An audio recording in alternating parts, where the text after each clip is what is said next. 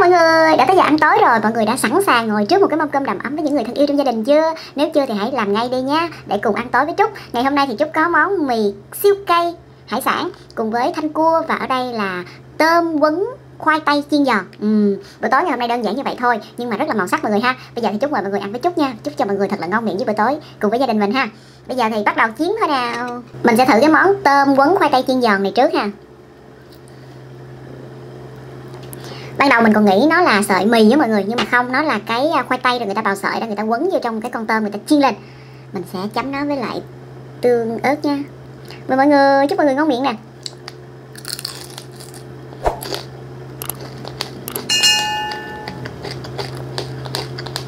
Ừ.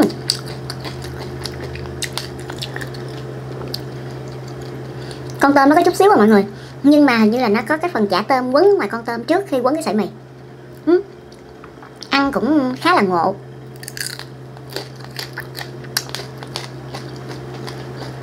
Giòn ngon và cái ừ, khoai tây rất là thơm mọi người. Còn bây giờ thì mình sẽ thử mì siêu cay vị hải sản nha. Lần trước mình ăn là vị bò mọi người. Còn vị phô mai nữa mọi người yêu cầu nhiều lắm nhưng mà từ từ chút ăn ha. Mời mọi người. Đã quá.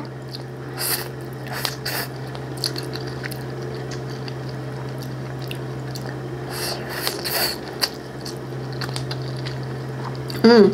Vị này cảm giác là nó cay hơn vị bò rất là nhiều nha.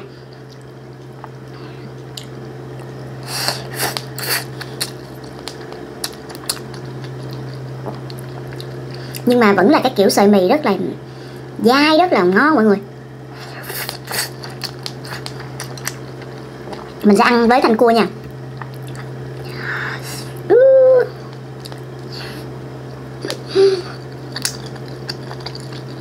Nhìn giống như là một cái sợi mì khổng lồ ha. Mì quấn thanh cua.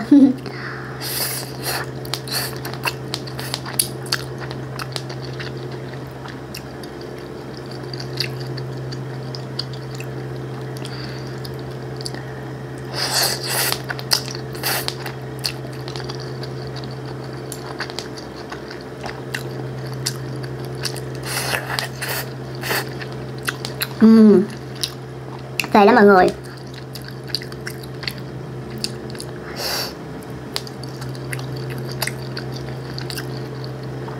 Ăn thanh cua không á mọi người sẽ không có thấy nó ngon đâu Mà khi mà mọi người bỏ vô cái mì này nè uhm.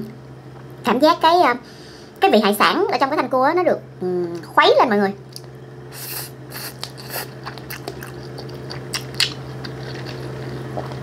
rất hợp với ăn với cái này Ừ.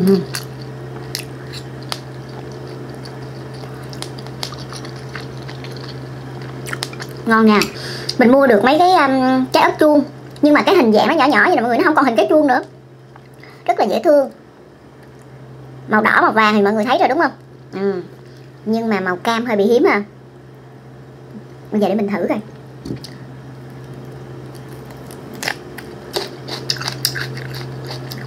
một cái mùi hăng rất là đặc trưng của ớt chuông. Kèm theo đó là cái hậu rất là ngọt mọi người. Chúng biết là có nhiều người không ăn được cái mùi này, không hửi được cái mùi này luôn. Nhưng mà ngon.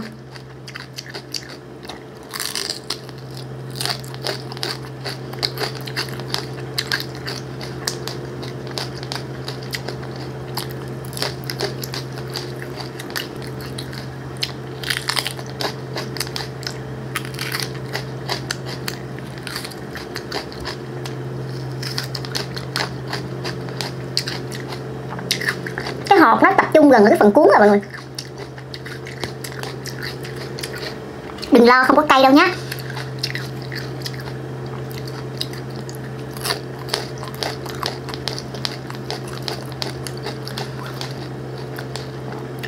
một số cái loại nước ép á mọi người. Nước ép rau củ á, cần tây cà rốt rồi á. Người ta còn có bỏ cả ớt chuông nữa mọi người. Nếu ai mà là tín đồ của các loại nước ép thì chắc là không còn xa lạ với cái mùi ớt chuông ha mọi người à, ai chưa biết ăn ớt chuông thì cũng nên tập tành đi hen. Những cái gì mà nó tốt nó bổ cho sức khỏe thì mình nên tập.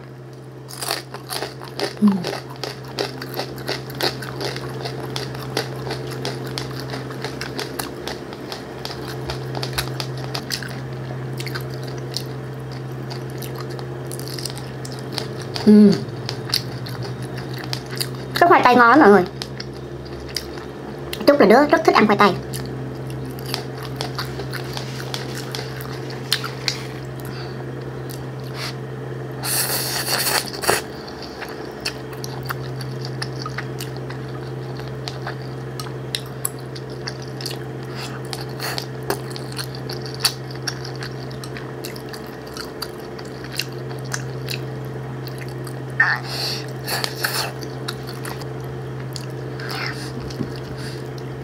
Bữa chúc um, coi ở trên uh, mạng á có thấy uh, người ta làm cái um, chút gọi nó là bánh pizza nhưng mà người ta gọi là bánh xèo bằng cái thanh cua này nè. Bữa nào chúc uh, sẽ làm thử rồi mời mọi người ha. Ý là giới thiệu với mọi người chứ quên. Chỉ là mời mọi người ăn thôi chứ mọi người đâu có trực tiếp ăn được.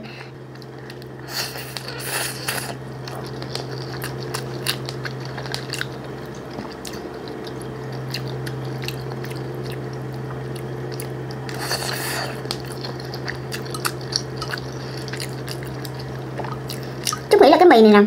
Nếu như mà mọi người thích á, mọi người vẫn có thể nấu theo cái kiểu nước để ăn cho nó nó lạ. Có nhiều người lại thích ăn mì nước hơn là mì trộn ha.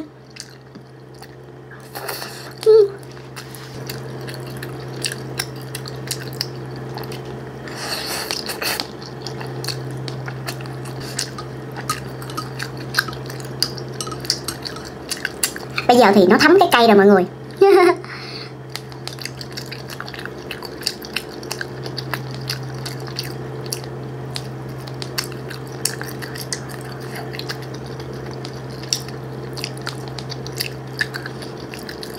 Cái thanh cua này mà nấu um, nấu lẩu.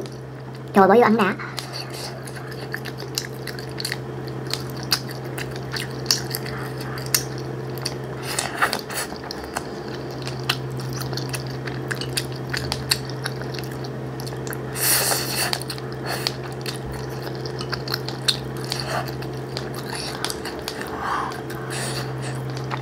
Cay á mọi người.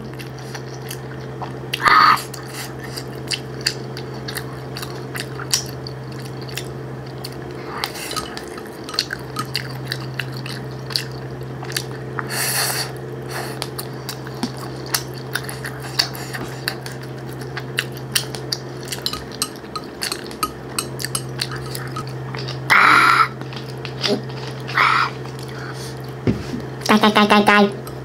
À cố lên. Bữa tối này ngon nhưng mà hơi cay nha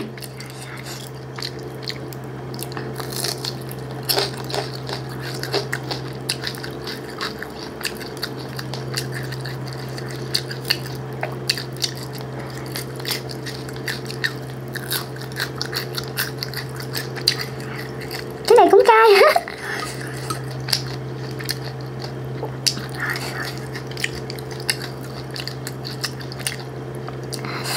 chắc mặt chút đỏ rồi á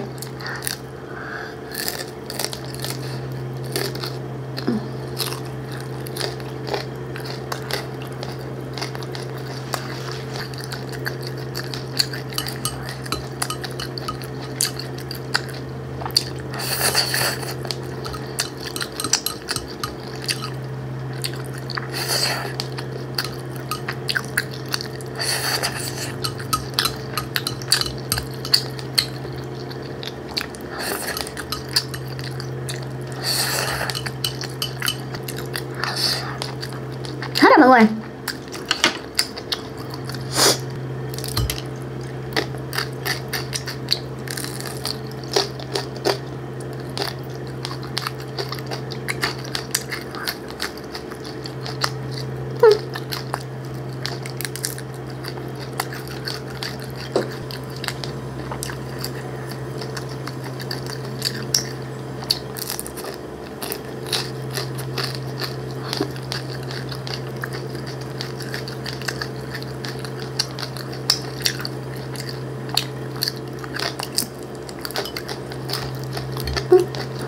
nó đụng đuôi rồi